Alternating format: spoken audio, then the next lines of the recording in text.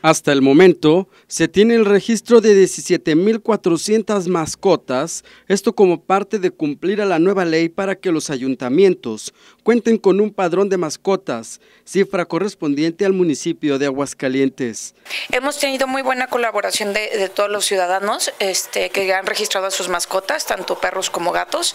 Este, la mayoría son, son perros, eh, muy, muy bajo porcentaje son gatos y pues alrededor van de 17 mil registros.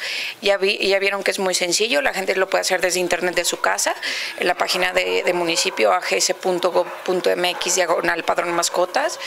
Y no hay más que tener su CURP, un correo electrónico y, el certificado de vacunación o bien el, el carnet de sus mascotas.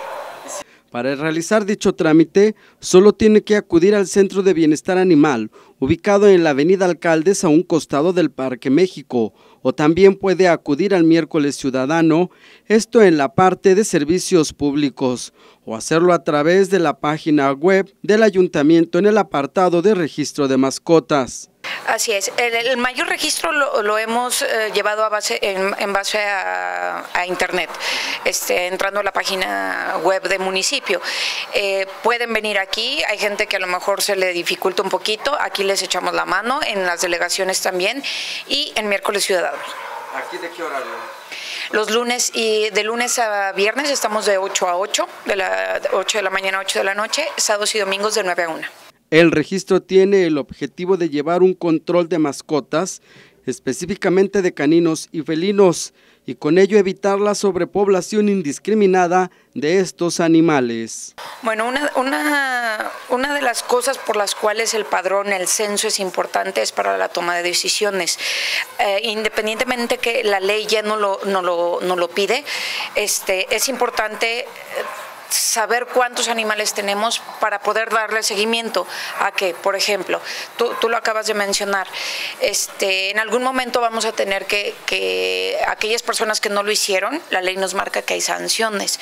Esas sanciones, este, primero es, es, por escrito, después es de, puede ser de 5 a 150 salarios mínimos. Así no lo marca la ley por no cumplir con el artículo 42 de la Ley de Protección para el Estado de Aguascalientes, que dentro de la fracción 12, dentro de esa fracción, dentro de ese artículo está el, registrar a su mascota.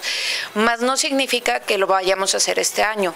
Lo que vamos a hacer este año es eh, las personas que se acerquen a esterilizar, las personas que, que suceda algún accidente, que esperemos que no esté con alguna de sus mascotas, oye, no estás registrado, por favor regístrate. Y va una amonestación por escrito más no, más no económica. Con imágenes de Edgar Báez para Informativo, Salomón Hernández.